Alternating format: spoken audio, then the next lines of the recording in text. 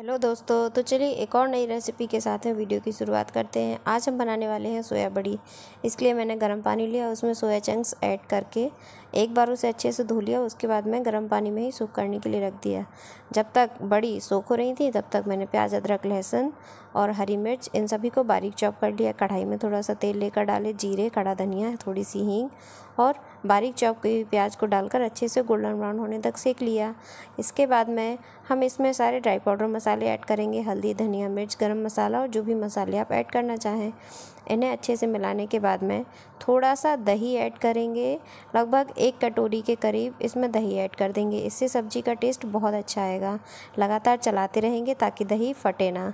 ध्यान रहे, दही ज़्यादा खट्टा नहीं होना चाहिए और बस इसमें अच्छे से चलाते रहें और अच्छे से एक बार उबाल आने तक पका लें।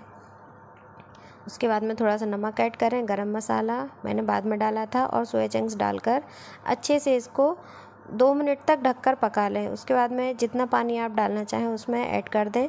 थिकनेस आप अपने हिसाब से रखें और हरी धनिया डालकर दो मिनट तक इसे और पकने दें और ये लीजिए बहुत ही टेस्टी सोया चंक्स की सब्ज़ी बनकर तैयार है।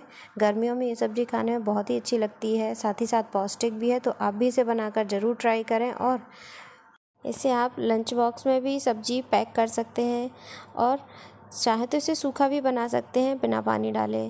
तो यदि आपको मेरी रेसिपी अच्छी लगी है तो आप भी इसे बनाकर ट्राई करें मेरे चैनल को लाइक और सब्सक्राइब करें। मिलते हैं नेक्स्ट वीडियो में।